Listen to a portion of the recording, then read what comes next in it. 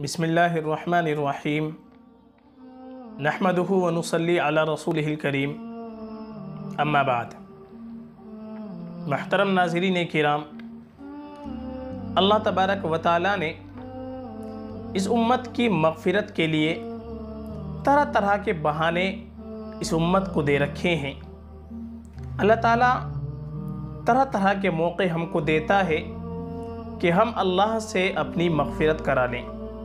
चुनाचे उन्हीं मौाक़े में से एक मौका है शब बारात का।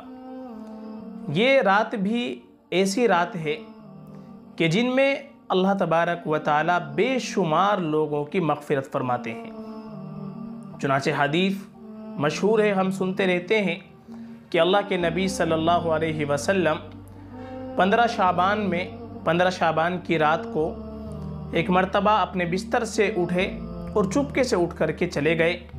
हज़रत आयशा रज़ी अल्लाह की आँख खुली तो देखा अल्लाह के नबी वहाँ पर मौजूद नहीं हैं।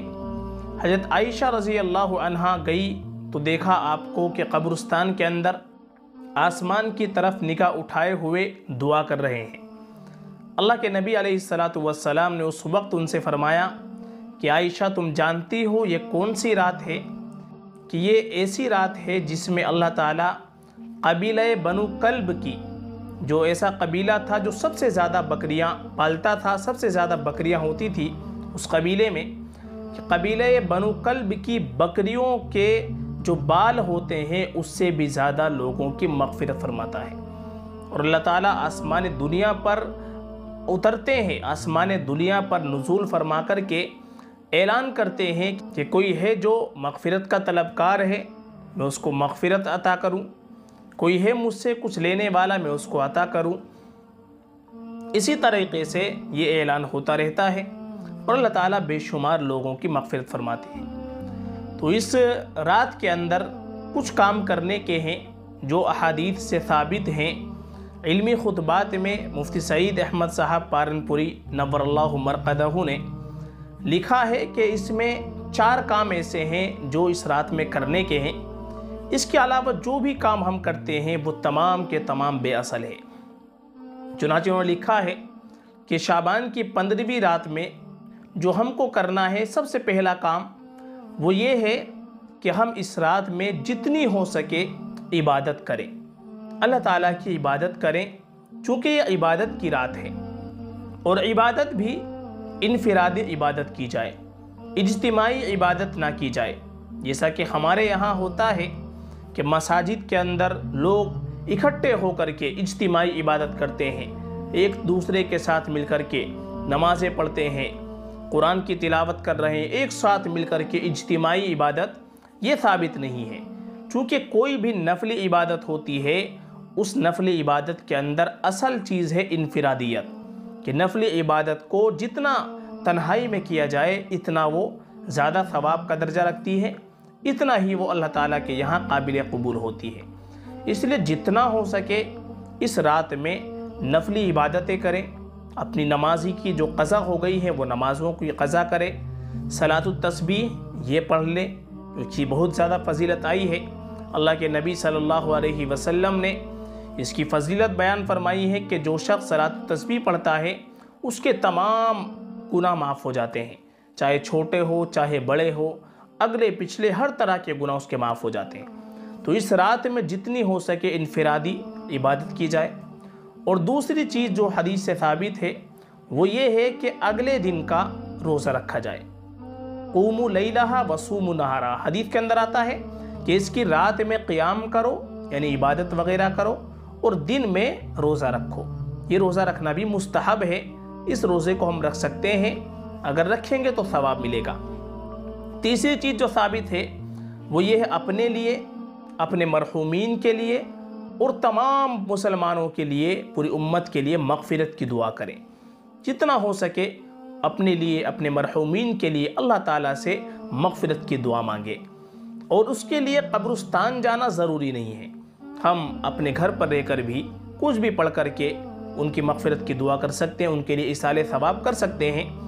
अल्लाह के नबी सल्लल्लाहु अलैहि वसल्लम से भी इस रात में कब्रस्तान जाना साबित है, लेकिन बिल्कुल चुपके से अल्लाह के नबी गए हैं। अल्लाह के नबी जब कब्रस्तान गए तो इतने चुपके से गए हैं कि हज़रत आयशा रज़ी अल्लाह अनहा को ख़बर भी नहीं हुई कि अल्लाह के नबी चले गए।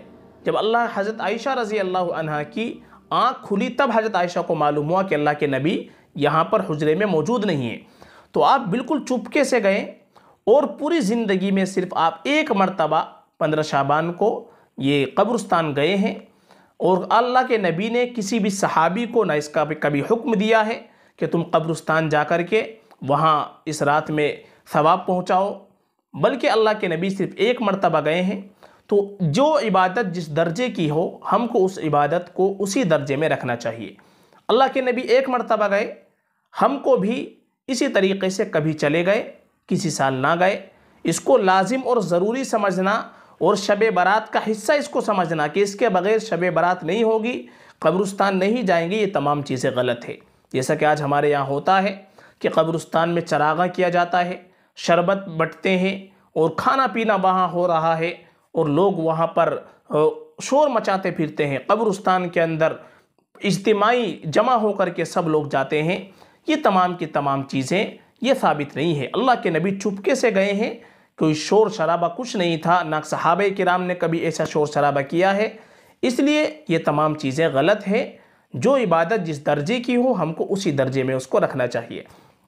और चौथी चीज़ ये है कि इस रात के अंदर जिससे भी हमारी कोई अगर कता ताल्लुकी हो, किसी से हमारा कोई लड़ाई झगड़ा हो तो इस रात के अंदर, इस रात के सुलह रहमी कर ले।